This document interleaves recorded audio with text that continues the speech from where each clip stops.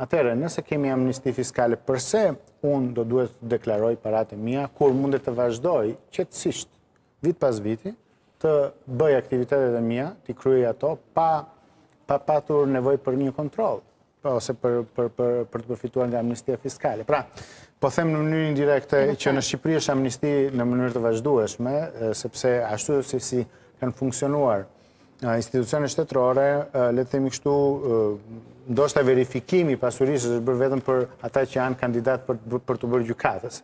Gjithë pjesa tjetër, dhe ndoshta edhe për ata ka dyshime, po gjithë pjesa tjetër nuk është bërë. Ata vazhdojnë të gëzojnë edhe pse nuk i kanë justifikuar.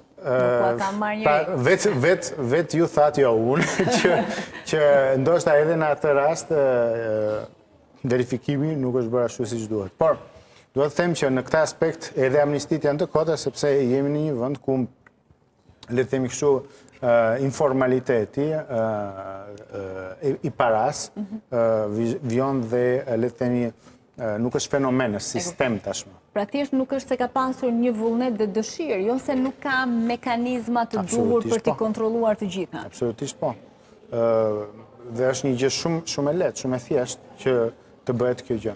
Në, në rastin aktual, çfarë kemi parë deri tani si masa reale mhm. të autoriteteve shqiptare është që ka patur dy tre herë në në 15 vitet e fundit disa fushata ku policia ka ndaluar çunat me makina të bukura dhe u ka kërkuar justifikimin për blerjen e makinës.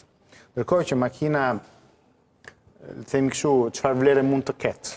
Dhe është... është, është 100 euro, 200 euro po themi. Po, është pezulluar pronësia, është, është shitur makina në, në ankand dhe kaq. Ndërkohë që, ndërkohë që vilat trekatëshe, apartamentet, nuk i gjejmë dot, nuk i gjejmë dot, ne makinat i gjejmë, apartamentet, kullat kemi vështirësi, jemi vend shumë i madh, kemi shumë banorë si duket dhe nuk i gjejmë dot. Po, Çfarë interesi ka shteti në këtë mes? Nëse do t'i... Tani, ideja, më mirë, ndoshta pyetja do të ishte kush i nxjerr këto para?